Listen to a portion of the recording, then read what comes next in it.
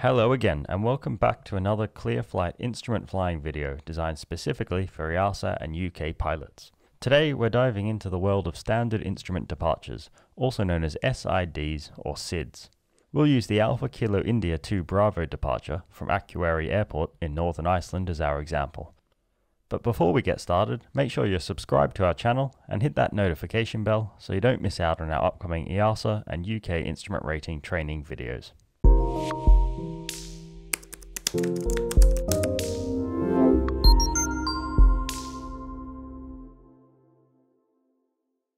standard instrument departure, or SID, is a pre-established, published procedure that helps pilots navigate safely from their departure airport and ensures a smooth transition from takeoff and into the en route airways system.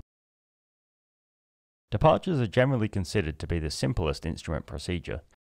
However, although they might not be as complicated as some instrument approaches, be sure to look over the departure plate in detail and read any notes and warnings as they may catch you out. Jumping into the cockpit now, and we'll look at this Alpha Kilo India 2 Bravo departure from Akureyri Airport's runway 01. It's plate 10-3B, effective from the 27th of January. The airport elevation is 7 feet, and the transition altitude is 7,000 feet. There are a few notes to be aware of. Strict adherence within the limits of performance criteria is mandatory. The routes may additionally be supplemented by altitude and or flight level restrictions. If unable to comply with the SID, advise ATC prior to takeoff, and on initial call to Akureyri Tower, state call sign, present position, intentions, and ATIS information received. Moving down onto the diagram, and I can see in the sector that I'm taking off in, and to the west as I depart, the minimum safe altitude is 6,600 feet. And to the east, the minimum safe altitude reduces to 5,500 feet.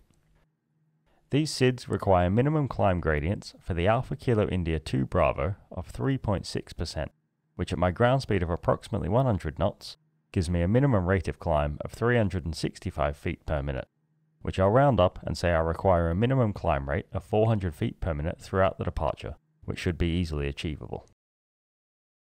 The routing for the Alpha Kilo India 2 Bravo climb ahead to the Oscar Echo NDB, the frequency for which is 415, and is set active in my ADF, which coincides with D2.3 of the India Echo Yankee. The frequency for that is 119.9 and it's set in nav2 with the DME set to nav2. Then turn left 357 degree bearing to the Hotel Juliet locator. The frequency for that is 319 and it's set in standby in the ADF. Continue on 357 degree bearing Intercept Alpha Kilo India Radial 341, which I have set in Nav1, and the CDI course is set to 341. When passing 5,100 feet, turn right to the Alpha Kilo India VOR, climbing to the cleared altitude or flight level. And my altitude bug is set to my cleared altitude of 7,000 feet. Lastly, considering threat and error management for this departure, the obvious one that jumps out here is the high terrain at this airport. As I've said, initially in the departure, the MSA is 6,600 feet, and then once we've commenced the right turn and are routing to the Alpha Kilo India, the MSA decreases to 5,500 feet.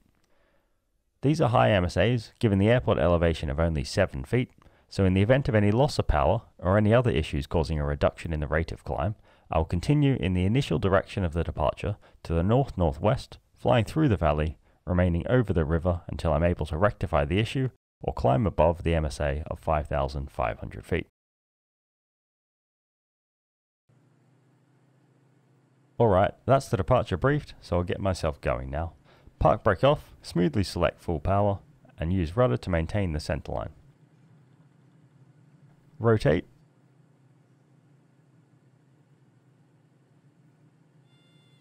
And as I'm instrument flying, I'll look straight down at the altitude indicator. Initially, I'm just climbing straight ahead about 2 miles to the Oscar Echo NDB.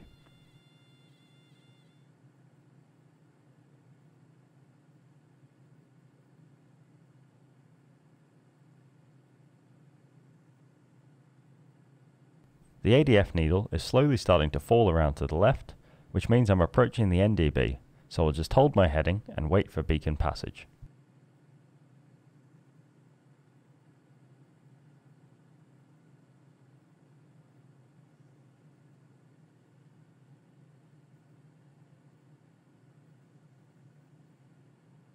Passing the beacon now, and I'll turn to fly a track of 357 degrees. There's a crosswind from my left, so I'm expecting I'll need a heading of about 345.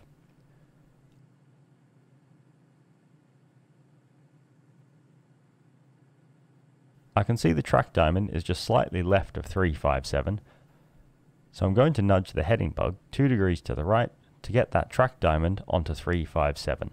And we can just tweak the heading bug by a degree or two now, just to get that track diamond exactly where I want it. I'm flying to the next NDB now, so I'll click the ADF soft key. The standby frequency is already highlighted there, so I'll press enter to swap the frequencies over. So the next NDB frequency 319 is selected. I need to identify it and compare the Morse code to the plate to ensure both the beacon and my equipment are working correctly. Lastly, on the ADF display, I can see the ADF needle is pointing nicely on about 357 degrees, which is exactly what I need, so I'll just keep tracking 357 degrees to the Hotel Juliet NDB.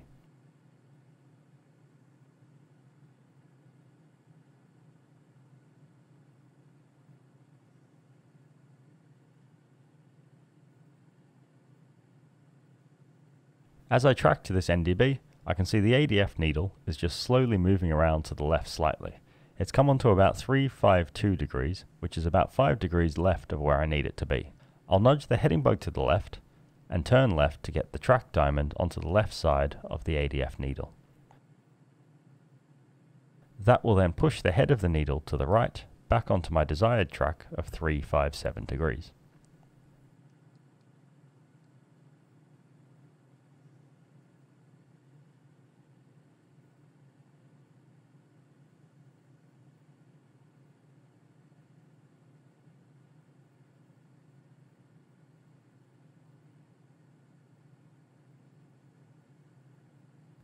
The ADF needle's been pushed nicely back onto 357 now, so I'm going to turn to the right to get that track diamond back onto 357 degrees. And I'll hold my heading as we fly towards and over the Hotel Juliet NDB. I can see on the DME I'm about 10 miles from the airport and the NDB is at 12.6 miles, so I've got about 3 miles to go.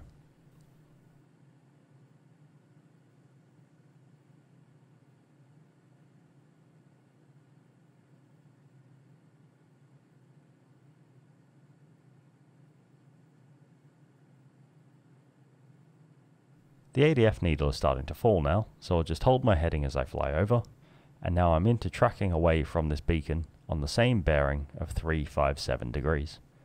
I'm going to maintain this track until I intercept the Alpha Kilo India VOR radial. With the frequency 113.6 already selected in nav1, I can see the VOR identifier Alpha Kilo India is displayed in green next to the frequency which means the G1000 has automatically identified it for me and there's no need for me to listen to the Morse code. Lastly, before I rely on the VOR for navigation, I'll double check that I've got the correct course of 341 set. I can see the course deviation indicators started to move in from the right there, so I'll keep holding this heading and wait until that CDI is centered, and then I'll turn to track the VOR.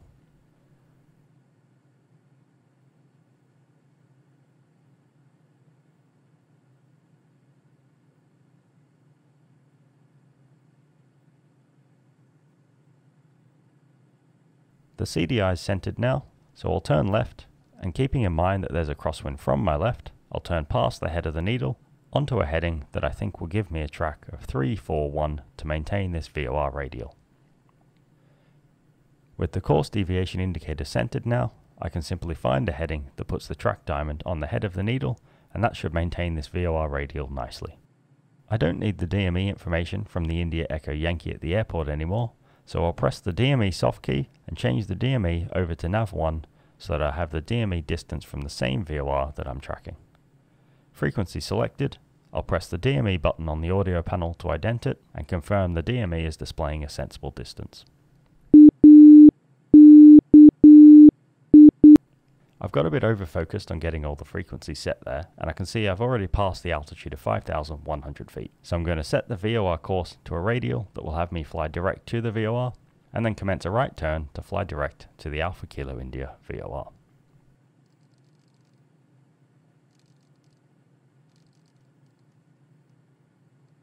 I'm on the last leg of this departure now, and all I need to do is keep tracking directly to the Alpha Kilo India VOR, climbing to an altitude of 7,000 feet. So that's it for this departure, and that's about as complicated as any instrument departure ever gets really. Quite frankly, most departures are a lot simpler than this, with less turns and fewer beacons involved. Although flying departures might be relatively straightforward, it's crucial that you understand the rules and regulations surrounding IFR departures, particularly the weather minima and the departure alternate requirements. So, the first question is, what is the worst weather that you can depart in with an EASA or UK single pilot instrument rating? The answer is a 400 metre RVR. It's worth noting that cloud base is not considered for departure, so it could be overcast at 100 feet, but as long as the RVR is at least 400 metres and the airport has runway lighting, you can still depart IFR. However, you may have noticed that this 400 metre minimum departure RVR is lower than the minimum RVR for an instrument approach. Therefore, it may be possible for you to take off, but not be able to land, which leads us into departure alternates. The first question here is, when do you need a departure alternate? Well, quite simply, you need a departure alternate when you can't land back at your departure airport. This could be due to poor weather or because of landing performance limitations. And lastly, when selecting a departure alternate, there are two requirements that you need to check. First, the departure alternate aerodrome must be within one hour at your one engine inoperative cruise speed. And second, the TAF at your departure alternate must indicate that the weather will be above your approach minima at your ETA plus or minus one hour. So, there you have it. That concludes our lesson on standard instrument departures, and I hope you found this useful in your journey to becoming an instrument rated pilot. We've got a whole online course designed specifically for both EASA and UK instrument rating students that teaches you everything you need to know to pass your IR test. See our course and loads of other resources at clearflight.co.uk and we'll see you in the next video.